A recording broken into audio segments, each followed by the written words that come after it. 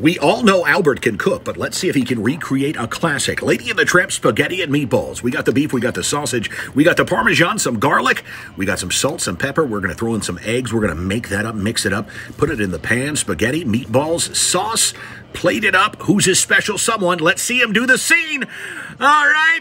Oh my God.